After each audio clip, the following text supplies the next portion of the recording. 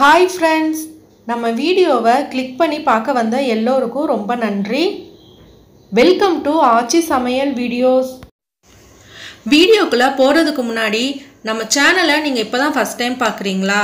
அப்போ ப்ளீஸ் மறக்காமல் சப்ஸ்கிரைப் பண்ணிடுங்க அப்படியே பக்கத்தில் இருக்க பெல் பட்டனையும் கிளிக் பண்ணிடுங்க வீடியோவை கடைசி வரைக்கும் பாருங்கள் கண்டிப்பாக உங்களுக்கு பிடிக்கும். அப்படி பிடிச்சிருந்தா லைக் பண்ணுங்கள் உங்கள் ஃப்ரெண்ட்ஸுக்கெல்லாம் ஷேர் பண்ணுங்கள் இந்த வீடியோ பற்றின கருத்துக்களை என் கூட மறக்காமல் கமெண்ட்ஸில் ஷேர் பண்ணுங்கள் வாங்க வீடியோக்குள்ளே போகலாம். இன்னைக்கு நம்ம என்ன பார்க்க போறோம்னா வரலட்சுமி பூஜை ஸ்பெஷல் முப்பருப்பு பாயாசம் எப்படி பண்ணலாங்கிறது தான் பார்க்க போகிறோம் ரொம்பவே டேஸ்டான இந்த முப்பருப்பு பாயாசம் எப்படி பண்ணலாங்கிறத பார்க்கலாம். வாங்க. இந்த பாயாசம் செய்கிறதுக்கு வந்து நான் ஒரு கப் பாசிப்பருப்பு எடுத்திருக்கேன்.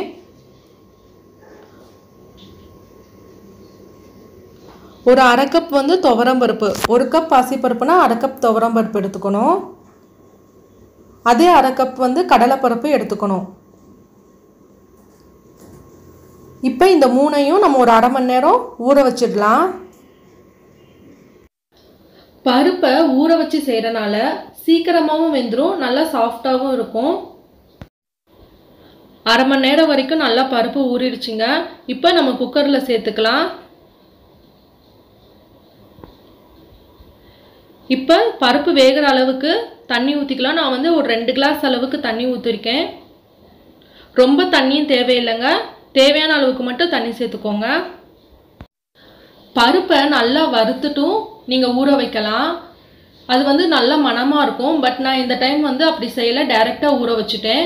இப்போ குக்கர் வெயிட் போட்டு ஒரு அஞ்சு விசில் வர வரைக்கும் நம்ம குக்கரை க்ளோஸ் பண்ணி வச்சிடலாம். பருப்பு ரெடி ஆகுறதுக்குள்ளே நம்ம வந்து தேங்காய் பேஸ்ட்டும் வெள்ளைப்பாகும் ரெடி பண்ணி வச்சுக்கலாங்க. அதுக்கு வந்து ஒரு ஸ்பூன் அளவுக்கு பச்சரிசியை வந்து ஊற வச்சிடலாம். ஒரு கால் மணி நேரம் ஊறினா போதுங்க. ஒரு ஸ்பூன் பச்சரிசி போதும். நிறைய சேர்த்திங்கன்னா பாயாசம் நல்லா இருக்காது. ஸோ இது ஊறிட்டு இருக்கட்டும். நம்ம வெள்ளைப்பாகு ரெடி பண்ணிடலாம். நான் வந்து மண்டவெல்லாம் எடுத்திருக்கேங்க. இது வந்து இரநூறு கிராம் இருக்குது. இப்போ நம்ம நூறு கிராம் பாசிப்பருப்பு எடுத்துக்கிட்டோம்னா ஐம்பது கிராம் துவரம்பருப்பு ஐம்பது கிராம் கடலைப்பருப்பு எடுத்துக்கணும். வெல்லம் வந்து இரநூறு கிராம் இருக்கணும் ஸோ இதை வந்து நான் பொறிச்சு எடுத்துக்கிட்டேன். இப்போ வெள்ளைப்பாகு நம்ம ரெடி பண்ணிடலாம். ஒரு கடாய் வச்சுக்கலாம். கடாயில் நான் இப்போ பொடிச்சு வச்சுருக்கிற வெள்ளத்தை சேர்த்துக்கலாங்க. வெள்ளத்தை சேர்த்து தேவையான அளவுக்கு தண்ணி சேர்த்து நம்ம வெள்ளைப்பாக காய்ச்சி எடுத்துக்கலாங்க. நான் ஒரு டம்ளர் அளவுக்கு தண்ணி சேர்த்துருக்கேன். இது பாயசம் செய்கிறனால நான் ஒரு கிளாஸ் அளவுக்கு சேர்த்துருக்கேன்.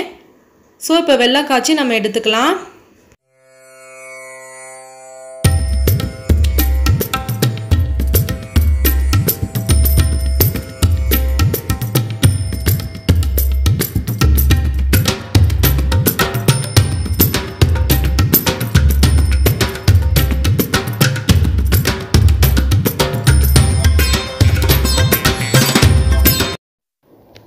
பாருங்க வெள்ளைப்பாகு ரெடி ஆயிடுச்சுங்க.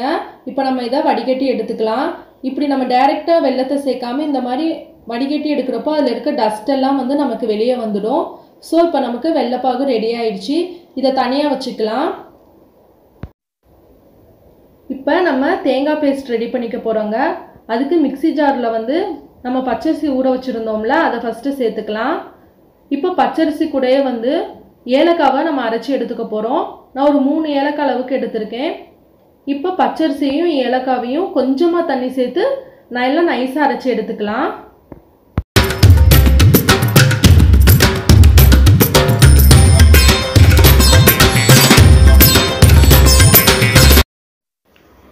பாருங்கள் பச்சரிசியும் ஏலக்காவும் சேர்ந்து இந்த அளவுக்கு நைஸாக அரைச்சி எடுத்துக்கணுங்க. இப்போ நான் ஒரு கால் கப் அளவுக்கு தேங்காய் துருவல் எடுத்திருக்கேன். இதில் நாலு ஸ்பூன் அளவுக்கு நம்ம சேர்த்து அரைச்சிக்க போகிறோம் தேங்காய் சேர்த்ததுக்கப்புறம் ரொம்ப நைஸாக அரைக்கணும்னு தேவையில்லைங்க. கொட கொரப்பாக அரைச்சி எடுத்துக்கணும். கொஞ்சமாக தண்ணி சேர்த்து கொர கொரப்பாக அரைச்சி எடுத்துக்கலாம். தேங்காய் சேர்த்து இந்த அளவுக்கு கொரகொரப்பாக அரைச்சி எடுத்துக்கோங்க. நைஸாக அரைக்கணும்னு தேவையில்லைங்க. இதே அளவுக்கு அரைச்சி எடுத்துக்கோங்க. இப்போ பருப்பு அஞ்சு விசில் வரைக்கும் வந்துருச்சுங்க. பருப்பு எப்படி வந்திருக்குன்னு சொல்லிட்டு பார்க்கலாம். பாருங்கள் பருப்பு நல்லா சாஃப்டாக வெந்திருக்கு. ஸோ இந்த அளவுக்கு தண்ணி இருக்கணுங்க. இப்போ நம்ம இதை வேறு ஒரு கடாய்க்கு சேஞ்ச் பண்ணிடலாம்.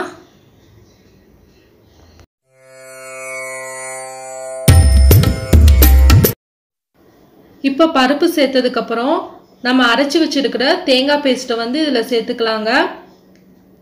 தேங்காவை சேர்த்ததுக்கப்புறம் நல்லா மிக்ஸ் பண்ணி விட்டுருங்க.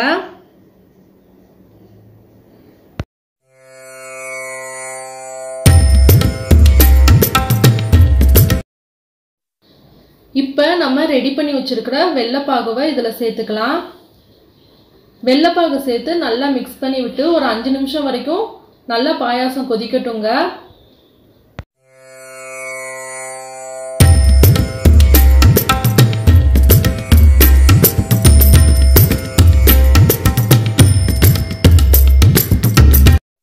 வெள்ளைப்பாகு சேர்த்து ஒரு அஞ்சு நிமிஷம் கொதிச்சதுக்கப்புறம் ஒரு அரைக்கப் அளவுக்கு பால் சேர்த்துக்கலாங்க.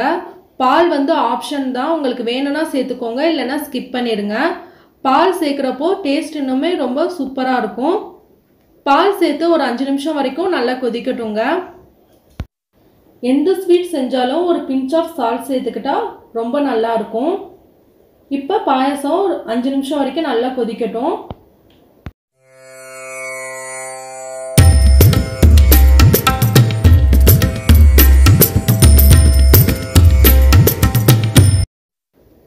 அஞ்சு நிமிஷம் வரைக்கும் பாயசம் நல்லா கொதிச்சிடுச்சிங்க.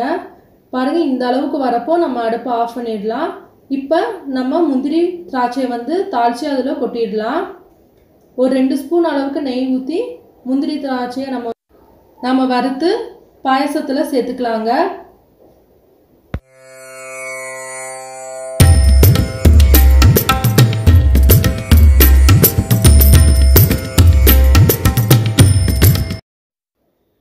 முந்திரி திராட்சையை நம்ம பாயசத்தோடு சேர்த்துக்கலாங்க. ரொம்பவே சூப்பரான முப்பருப்பு பாயசம் நமக்கு ரெடி ஆயிடுச்சுங்க. பாசிப்பருப்பு மட்டும் போட்டு செய்கிறப்போ ஒரு டேஸ்ட்டாக இருக்கும். இந்த மாதிரி மூணு பருப்பும் சேர்த்து செய்கிறப்போ பாயசம் ரொம்பவே சூப்பராக இருக்கும் சாப்பிட. வரலட்சுமிக்கு ஸ்பெஷலாக செய்கிற பாயசம் இல்லை. ஸோ இதை கொஞ்சம் இன்னும் ஸ்பெஷல் பண்ணுறதுக்காக நான் ஒரு பேன் எடுத்திருக்கேங்க. அதில் ஒரு ஸ்பூன் அளவுக்கு நெய் விட்டுருக்கேன். இப்போ நான் ஒரு வாழைப்பழத்தை வந்து இந்த மாதிரி ஸ்லைஸ் ஸ்லைசஸாக கட் பண்ணி வச்சுருக்கேன். இப்போ இந்த நெய்யில் வந்து இந்த வாழைப்பழத்தை நம்ம டோஸ்ட் பண்ணி எடுத்துக்க போகிறோம் வாழைப்பழத்து கூட இந்த பாயசத்தை சேர்த்து சாப்பிட்டு பாருங்களேன். இன்னும் டேஸ்ட் ரொம்பவே சூப்பராக இருக்கும். இந்த மெத்தடில் நீங்களும் ட்ரை பண்ணி பாருங்கள் ஓகேங்க. நீங்களும் இந்த முப்பருப்பு பாயசத்தை இந்த வரலட்சுமி பூஜைக்கு உங்கள் வீட்டில் செஞ்சு என்ஜாய் பண்ணி சாப்பிடுங்க. எப்படி இருந்துச்சுன்னு என் கூட மறக்காமல் கமெண்ட்ஸில் ஷேர் பண்ணுங்கள் நம்ம வீடியோ பிடிச்சிருந்துச்சுன்னா லைக் பண்ணுங்கள் உங்கள் ஃப்ரெண்ட்ஸுக்கெலாம் ஷேர் பண்ணுங்கள் அப்படியே மறக்காமல் நம்ம சேனலை சப்ஸ்கிரைப் பண்ணிடுங்க பக்கத்தில் இருக்க பெல் ஐக்கானையும் கிளிக் பண்ணிடுங்க